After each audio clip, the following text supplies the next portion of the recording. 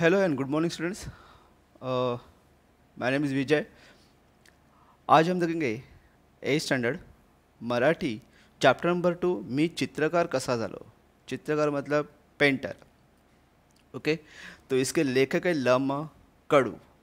Lump कडू लेखक ने क्या बताया इसमें देखो? निसर्गाच्या सानिध्यात आपल्याला आपल्यातील उपजत कला शोधण्याचे अनेक मार्ग सापडतात हे लेखकाने स्वानुभवातून या पाठात सांगितले आहे.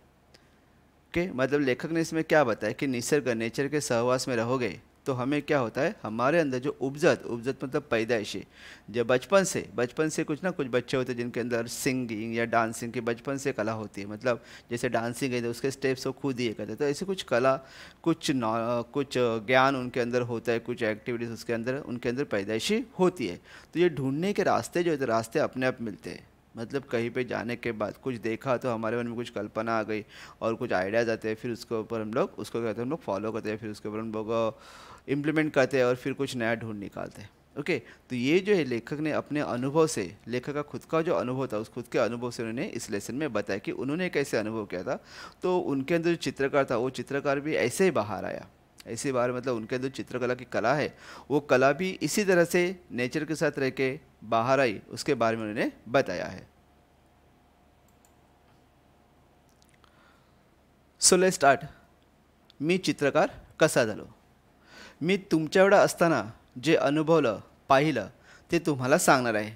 लेखक ने कहा, जब मैं तुम्हारे जैसा, जैसे तुम्हारा जैसा मतलब अभी तुम एज स्टैंड में तो तुम्हारे एज का जब लेखक था तो लेखक ने जो अनुभव किया है, जो एक्सपीरियंस उनके लाइफ में आया था, जो उन्होंने एक्सपीरियंस किया है, उसके बारे में लेखक हमें बताया कि उनके लाइफ में उन्होंने कैसे एक्सपीरियंस किया था। तुम्हाला सांगणार आहे प्रथम निसर्ग, सबसे पहले नेचर के बारे में उन्होंने बताया है ओके निसर्ग आपण निसर्गात कधीही विसरून निसर्गाला कधीही विसरून चालणार नाही. लेखक ने बताया कि जो नेचर है निसर्ग जो है इस निसर्ग इस नेचर को, ओके, इस वातावरण को, इस माहौल को, हम लोग कभी भी भूल नहीं सकते। उसे भूल कर नहीं हो सकता। इसे हमें हमेशा याद रखना है, क्योंकि यही हमें बहुत कुछ देता है। त्याच्या विरोधात न जाता, मर्जित रहना राहणं केव्हाही आपल्या फायद्याचं आहे. उसके अपोज में कभी मत जाओ. उसके अपोजिशन में कभी मत जाना. उसको जैसे चाहिए, उसके जैसे बनते रहो. जैसे वो चाहता है जैसे बा, बहुत बारिश हो रही तो उस बहुत बारिश हो रही तो उसको हम लोग रोक नहीं सकते। बारिश नहीं हो रही तो उसको हम लोग ज़बरदस्ती बारिश गिरा नहीं सकते राइट तो उसके साथ मतलब नेचर जैसे चल रहा है वैसे चलने दो। आज तुम देखा ना कोविड नाइन्टीन की वजह से पूरा वर्ल्ड क्या है? बंद पड़ा हुआ था राइट ओके सबको लग रहा कि ये इकोनॉमी डाउन हो रही है ये हो गया वो हो गया बहुत सारे लोग भी मरे। लेकिन तुमने ये देखा कि एनवायरनमेंट में उसमें से क्या चेंजेस है पॉल्यूशन कितना कम हो गया मुंबई, पुणे जैसे मेट्रो सिटीज़ में पॉल्यूशन कितना कम हो गया? क्यों? क्योंकि व्हीकल्स नहीं चल रहे थे राइट तो मतलब कहीं ना कहीं पे फ़ायदा तो हुआ ही है। इसलिए हमेशा हमें नेचर के साथ में ही रहना चाहिए, उसके अपोज में कभी नहीं जाना चाहिए। क्योंकि यही हमारा पालन पोषण भी करता है। निसर्ग से, जंगल से हाँ जंगल में हमें बहुत सारे चीज़ें मिलती है। ओके जो फॉरेस्ट होते हैं, वो फॉरेस्ट क्या होते हैं? हमारे नेचुरल रिसोर्सेस होते हैं। और निसर्गच आपल्याला नाना कला शिकवतो. और यही जो है, निसर्ग हमें क्या कहते हैं अलग अलग टाइप की कला अलग टाइप के आर्ट जो है आर्ट हमें सिखाने का काम निसर्ग ही करता है. निसर्ग ढूंढाळत रहा, तुम्हाला सर्जनाच्या वाटा आपसुक सापडतील. ढूंढो उसमें. नेचर को ढूंढते रहो, ढूंढते निसर्ग में ढूंढते रहो, निसर्ग में ढूंढते रहोगे, तुम्हारे सर्जन सर्जन मतलब बाहर बाहर के रास्ते तुम्हें अपने आप मिलते रहेंगे. आता तुम्हाला माझीच गोष्ट सांगतो. माझं प्राथमिक शिक्षण एका लहानशा झालं. अब लेखक अपनी कहानी बता रहा है। लेखक कहता है कि उनकी जो पढ़ाई है, उनकी पढ़ाई एक छोटे से गाँव में हुई थी। माझं खेड़ा अतिशय निसर्गरम्य आणि सुसंस्कृत लेखक का जो गाँव है, क्योंकि कंट्री साइड खेड़ा मतलब कंट्री साइड तो ये जो गाँव है, ये गाँव कैसे है? निसर्ग रम्य मतलब वहाँ पे नेचर मतलब जैसे नदी, नाले, पहाड़, बहुत कुछ है। और सुसंस्कृत सुसंस्कृत मतलब पढ़े लिखे लोग होंगे वहाँ पे। ओके अच्छा गाँव है। घनदार जंगल थिक फॉरेस्ट है। दूथड़ी भरून वाहन है दूथड़ी मतलब दोनों बैंक दोनों जो तीर है, दोनों तीर भर के बहने वाले मतलब फुल फ्लेज में भरने वाले रिवर है। नीले डोंगर, पहाड़ है, हिरवी राना, जंगल है ग्रीन कलर के जंगल है मतलब जहाँ पे सदा, बाहर सदा मतलब जो लीव्स है वो हमेशा हरे हरे रहते हैं। अवघा आनंदी आनंद और बहुत मतलब खुश आहे खुश आहे वहाँ पे। अशा वातावरणात मन, माणसातली सर्जनशीलता उफाळून आली नाही तर नवलच। और ऐसे माहौल में मतलब बोलते ना, एक पूरा माहौल है एकदम बोलते पूरी तैयारी है तो उसमें तुम्हारे अंदर का जो कलाकार है, वो कलाकार अगर बाहर नहीं आया तो एक आश्चर्य की बात है। मतलब जैसे कोई ऐसे माहौल है, जैसे तुम लोग एक नदी किनारे बैठे हो और तुमने कहा बहुत अच्छी नदी बह रही है, बहुत पेड़ पौधे, अच्छे अच्छे पेड़ पौधे तो कोई कवि है तो उसके ऊपर कविता कर सकता है। कोई चित्रकार है तो अपना वो ये निकालेगा, स्टैंड, कैनवास निकाला कैनवास के ऊपर अपना ड्राइंग करता रहेगा, ओके? कोई अगर लेखक है तो लेखक लिखता रहेगा। तो हर एक अंदर मतलब जो कलाकार उसकी कला क्या होती है? बाहर आती है। नहीं आई तो आश्चर्य की बात है। कि कलाकार होने के बाद भी, इतनी अच्छी सीनरी होने के बाद भी, उसके अंदर कलाकार क्यों नहीं जा गया? माझा एक मित्र होता। आम्हाला खूप वाटायचं की आपण चित्र काढावीत, पण काय करणार? लेखक ने कहा कि उनका एक दोस्त है। उनको हमेशा ऐसे लगता था कि उन्हें बहुत सारे ड्राइंग करने हैं। लेकिन करेंगे क्या? आमच्याकडे कसलीच साधन होती उनके पास कोई सामान नहीं है कोई इंस्ट्रूमेंट नहीं है ड्राइंग करने के लिए एटलीस्ट बोलते ना pen pencil pencil eraser paper ये सब जो है ना कलर्स चाहिए तो ये सब उनके पास नहीं था.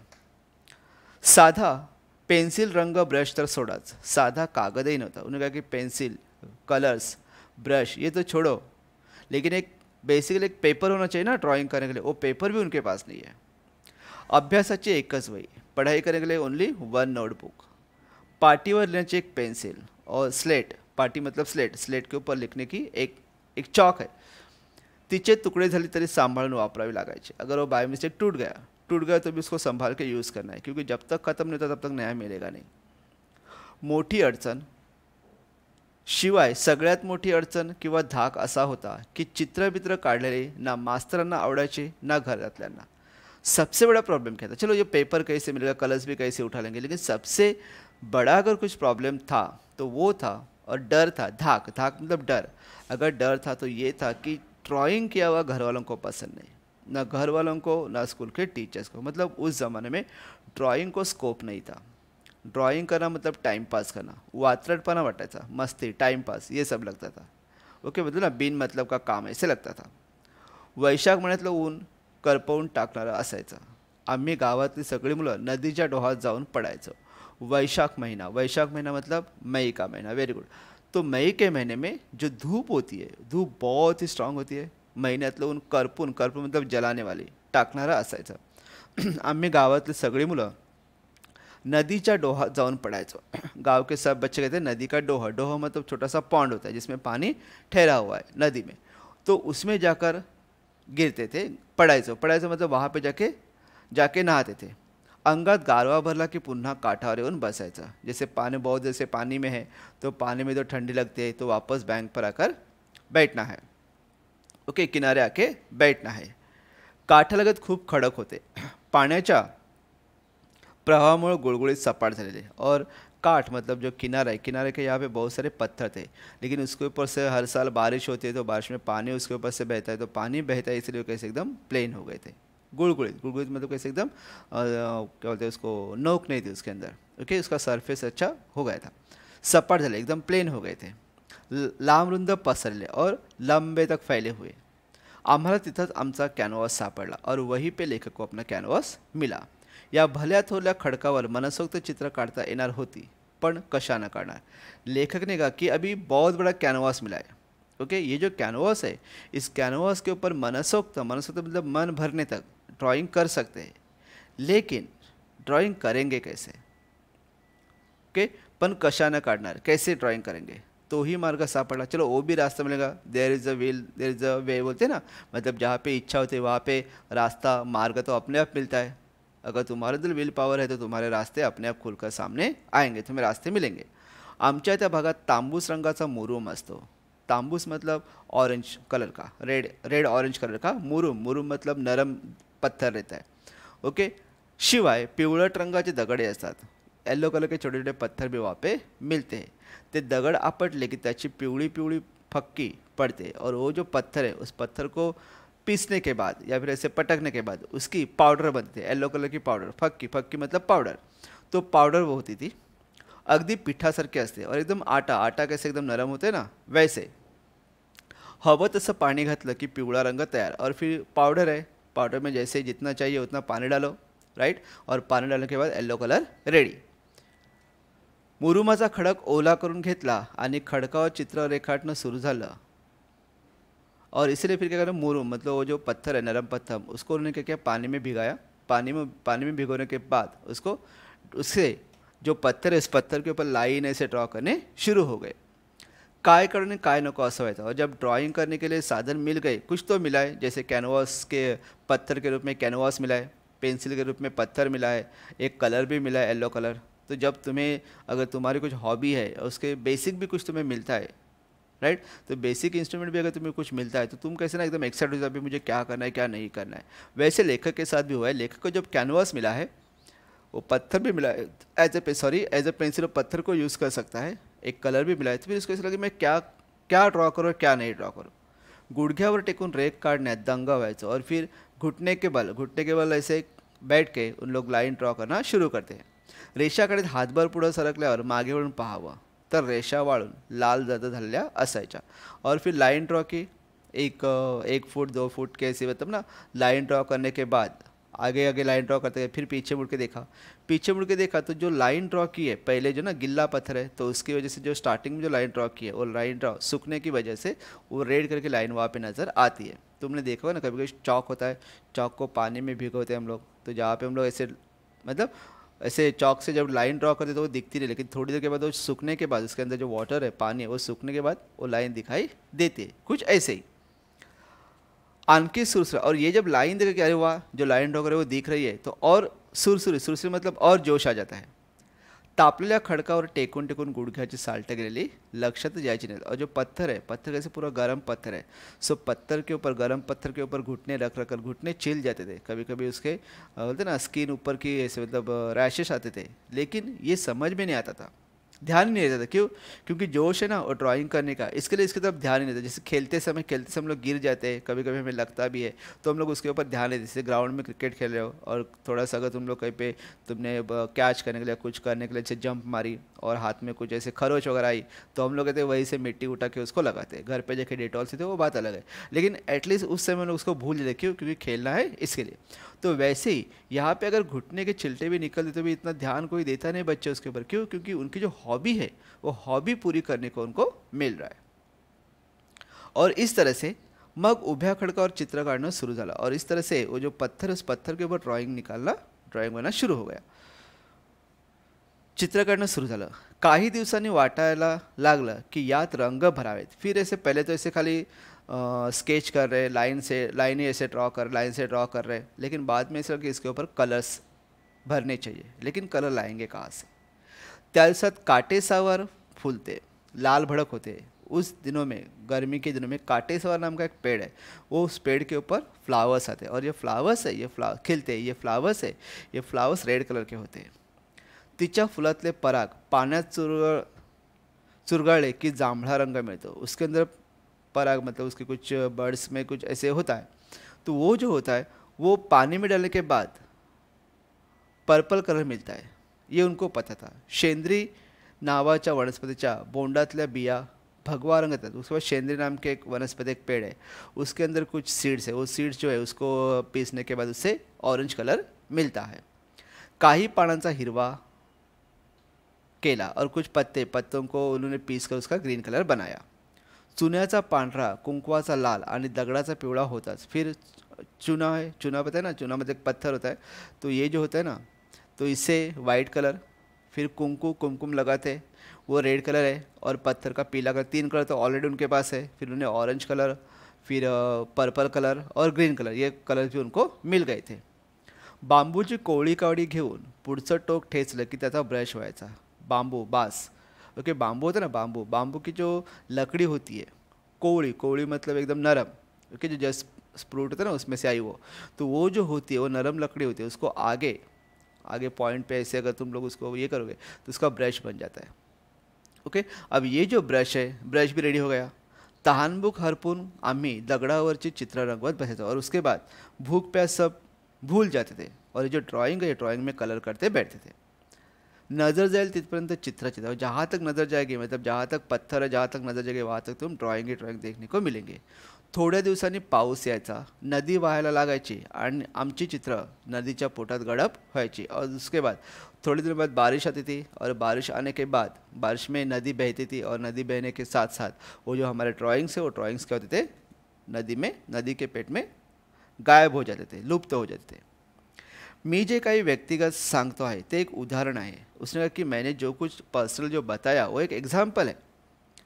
निसर्ग किती प्रेरणा आपल्याला देत असतो, हे लक्षात नेचर हमें अपने तरीके से, अपने हिसाब से हमें क्या कहता है, वो तुम्हें ध्यान में आएगा. मला इतकंच म्हणायचं आहे की, साधनं नाहीत म्हणून अडून बसण्याचं कारण नाही. तुमच्या इच्छा तीव्र असेल तर साधनांशिवाय साधना करता येते.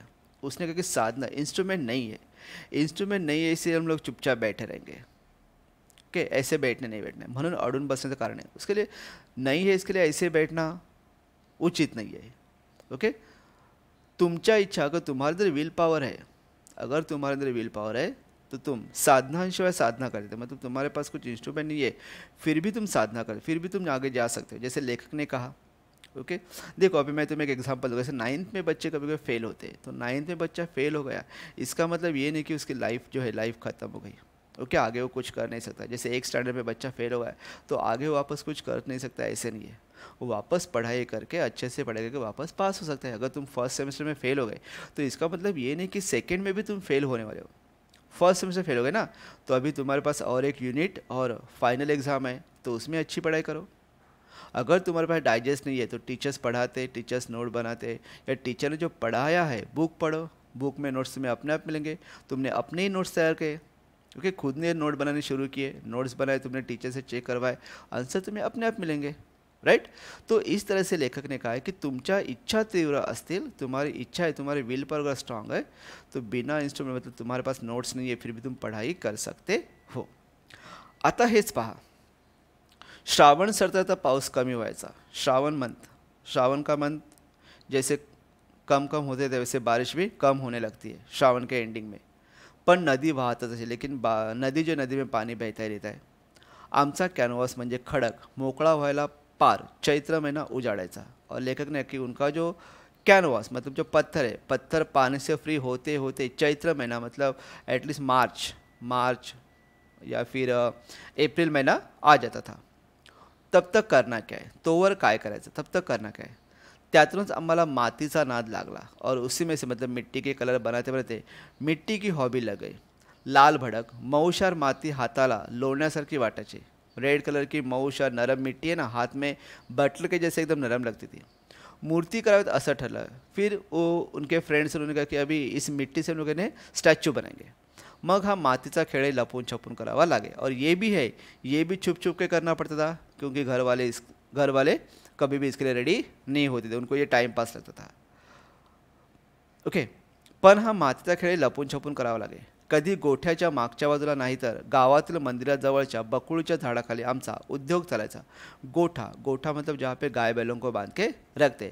तो कभी उसके पीछे के तो कभी मंदिर है मंदिर के पीछे जाके उन लोग ये सारा काम करते थे। बकुड़ीच्या झाड़ाखाली बकुड़ नाम का पेड़ था, उसके पेड़ के नीचे जाके ये सब उनका काम चलता था। मूर्ती करून वाळत ठेवल्या की काही काळानं त्याला तडे जाऊन ढासरायच्या स्टैचू बनाए छोटे छोटे स्टैचू मूर्तियाँ बनाई मूर्तियाँ बना के उसको सूखने के लिए रखा। सूखने के बाद उसके अंदर जो मॉइस्चर है मतलब जो पानी है, पानी पूरा सूखने के बाद उसको क्रैक्स आते, और क्रैक्स आके टूट जाते थे। फिर हिरमोड़ हिरमोड़ व्हायचा मतलब क्या नाराज़ हो जाते थे कि अभी यार, अभी क्या करेंगे मूर्तियाँ बनाई टूट गई. त्यावर काहीतरी उपाय शोधाय, शोधायलाच हवा होता और इसके ऊपर कुछ ना कुछ तो उपाय, कुछ ना कुछ तो आयडिया नहीं थी. विचार करता लक्षात आलं की गाईचं शेण ओलं असताना जैसा असतं, तसंच ते वाळल्यावर राहतं. फिर उनके ध्यान में आया, उन्होंने देखा ऑब्ज़र्व किया कि जो काउडंग होता है, गोबर गोबर जो होता है, गोबर गीला होने के बाद जैसे होता है, सूखने के बाद हो, वैसे के वैसे ही रहता है, क्योंकि उसमें फाइबर्स होते हैं. ओके? ये उनके ध्यान में आया। तब उन्होंने क्या किया? अब मिट्टी और वो जो काउडंग है, उसको मिक्स करके उन्होंने मूर्ति बनानी शुरू की और मूर्ति कुछ कुछ मूर्ति या जो है, वो टिकने लगी। तरीही जास्त दिवस झाल्यावर बारीक बारीक तड़े जाऊन ढाल, ढलप्या पड़ायचा फिर भी कुछ दिनों के बाद मतलब खाली मिट्टी की मूर्तियाँ जितनी जल्दी टूटती थी, उतनी जल्दी तो ये मूर्तियाँ नहीं टूटती है। लेकिन कुछ दिन होने के बाद ये भी सूखने के बाद, इसके अंदर का भी मॉइस्चर ख़त्म होने के बाद, इसके भी, इसको भी क्रैक जाकर ये टूटती थी। अब करना क्या है? अब ये भी अनसक्सेस मतलब इनको कैसे ना कि मूर्ति बनाने के बाद वो कंटिन्यूस बहुत दिनों तक वैसे के वैसे रहनी चाहिए, लेकिन ऐसा नहीं हो रहा था। अब करना क्या है? वापस शुरू हो गया विचार मंत्र, इनका शुरू हो गया कि करना क्या आहे आमच्या गावात आठवडी बाज़ार भरायचा मतलब वीकली मार्केट हफ़्ते में एक बार जो मार्केट भरता है, वो भरता था। माधु आयते कपड़े विकायला यायचा माधु नाम का एक इंसान है वो रेडीमेड कपड़े बेचने के लिए आता. था सगड़ा डोंगर भाग फक्त पायवाटा. पूरा क्या है पहाड़ी इलाका, बस उसमें से पैदल जाने के लिए फुटपाथ ही है तो अपना माल घोड़े घोड्यावर लादून आना आणायचा. वो अपना जो माल है मतलब उसके जो भी कपड़े वो कपड़े वो घोड़े के ऊपर रखकर लाता था नांद्रुकीच्या झाडाखाली दाट सावली. पड़ायची. नांद्रुकी पेड़ का नाम है वहाँ पे मतलब बहुत ठीक ऐसे छाव. और उसी पेड़ के नीचे तो झाडाच्या मुळीला घोडा बांधून ठेवायचा. और उसी पेड़ के नीचे वो अपने घोड़े को बाँध कर रखता था. आम्हाला घोड्याची लीद दिसली. घोड्याची लीद. लीद मतलब डंग. ओके? घोड़े का गोबर. आम्हाला घोड्याची लीद दिसली. लीद म्हणजे घोड्याचं शेण. लीद मतलब घोड़े का डंग. जैसे काऊ डंग होता है वैसे. त्यात बरेच धागे धागे दिसत उसमें बहुत सारे ऐसे फाइबर्स दिखाई धागे धागे ऐसे ना. रस्सी रस्सी ऐसे दिख रहे थे फाइबर्स ऐसे दिख रहे थे। हे धागे, माती धरून ठेवतील ऐसा विचार करून आम्ही तो प्रयोग केला। उनको लगा कि शायद ये जो धागे धागे इसमें दिख रहे, रस्सी के धागे धागे ऐसे दिख रहे, ये धागे शायद मिट्टी को पकड़ के रख सकते हैं।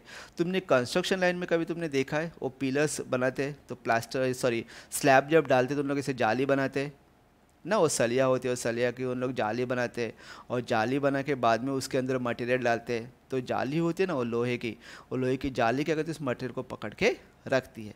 वैसे ही जो घोड़े की लीद में जो धागे, ये धागे शायद मिट्टी को पकड़ के रख सकते ये उनके मन में आया और उन्हें वो भी एक्सपेरिमेंट करके देखा। आता आमच्या मूर्तींना बिल्कुल तड़े जात नव्हते अब जो है, अब उनकी जो मूर्ति है, जो स्टैचू उन्होंने बनाए, उसमें बिल्कुल क्रैक्स नहीं आ रहे थे। केवड़ा आनंद झाला हे मला शब्दात सांगता नहीं. फिर उस समय कितनी खुशी हो गई, उसने कहा वर्ड्स में बता नहीं सकते. मी माध्यमिक शाळेत असताना आर्किमिडीज या शास्त्रज्ञाचा धडा वाचला. जब वो माध्यमिक शायद सेकेंडरी स्कूल में जब पढ़ाई करा था, उस समय उसने आर्किमिडी जो साइंटिस्ट था, उसका लेसन पढ़ा था. त्याला हवं होते तत्व शोधण्यासाठी तो साध्या वाटणाऱ्या गोष्टीतही ते शोधत राहायचा. आर्किमिडीज का, क्या था लॉ आर्किमिडीज लॉ ऐसे कि मतलब उसको जो भी चाहिए, वो छोटी छोटी चीज़ों में ढूंढता था। मतलब उसको एक, जैसे हम लोग ना हाँ ये तो सिंपल है। ओके ये तो ऐसे होता है। लेकिन नहीं, वो ऐसे क्यों हुआ? ऐसे ही क्यों हुआ? इससे ही क्यों हुआ? उसके बारे में क्या कहता वो रिसर्च करता था। ते सापडल्यावर तो नहाने घर घरातून युरेका युरेका करत धावत सुटला। और वो मिलने के बाद वो अपने नहाने घर मतलब बाथरूम से युरेका युरेका ऐसे चिल्लाते चिल्लाते भागता था। तेव्हा माझ्या लक्षात आलं की आपल्याला तेवढाच आनंद झाला होता। जेव्हा मूर्तिना तड़े जाने थामला होता। फिर लेखक को भी ऐसा लगा कि उनको भी उतनी खुशी मिलती जितनी आर्किमिडीज को मिली थी। तब, क्यों? क्योंकि वो जो स्टैचू स्टैचू को क्रैक जाना रुक गए थे। आपल्यापुरता का होईना पण तो एक शोध था। उसके लिए क्यों ना हो, पर्सनल क्यों, लेकिन वो उसने एक इन्व्हेंट किया था। ओके? मुलांनो मी तुम्हाला एवढंच सांगेन की तुमच्या प्रत्येकात आर्किमिडीज दडलेला आहे. त्यात कायम त्याला कायम जागता ठेवा, तुमचा आभाळ कायम आनंदाने भरलेला राहील. फिर लेखक ने कहा, तुम्हारे अंदर, है हर एक बच्चे के अंदर एक आर्किमिडीज छुपा हुआ है. ओके, तुम्हारे अंदर आर्किमिडीज छुपा हुआ है, उसे जगाते रखो. ओके, फिर तुमचा आभाळ कायम आनंद फिर तुम्हारा आसमान है, हमेशा खुशियों से भरा हुआ रहेगा मतलब हमेशा तुम्हारी लाइफ में खुशियाँ खुशियाँ होगी. तो हर एक तुम, हर एक बच्चे के अंदर, हर एक बंदे के अंदर क्या होता है, कुछ ना कुछ कला होती है। उसके हिसाब से, जैसे कि लास्ट बेंच के ऊपर बैठा हुआ बच्चा अगर पढ़ाई नहीं करे तो अगर वो पढ़ाई नहीं करता है तो उसका दिमाग किसी और चीज़ में लगा होगा। समझ में ना, आज हम लोग देखेंगे तुम तुम्हें पता है, जितने भी साइंटिस्ट थे, जितने भी जो साइंटिस्ट बने हैं, वो सब ऐसे, पढ़ाई में सब वो टॉपर्स थे, ऐसे नहीं है। समझ में ना, जैसे राइट ब्रदर्स थे, उसके बाद कोलम्बस ऐसे जो बहुत सारे थे ये लोग पढ़ाई में बहुत बड़े लेकिन उन्होंने क्या किया कि जो सिंपल सिंपल चीज़ें भी जो लगती थी, उसके अंदर उन्होंने रिसर्च किया कि ऐसे ही क्यों होता है। समझ, जैसे कोलम्बस कोलम्बस इंडिया ढूँढने निकला था, लेकिन कहाँ पे जाके पहुँचा? अमेरिका जाके पहुँचा। तो ऐसे अगर तुम लोग कहानियाँ पढ़ोगे तो तुम्हें पता चलेगा कि मतलब हमारे अंदर बहुत कुछ ताकत होती है, बहुत कुछ बोलते हैं ना नॉलेज हमारे अंदर छुपा होता है।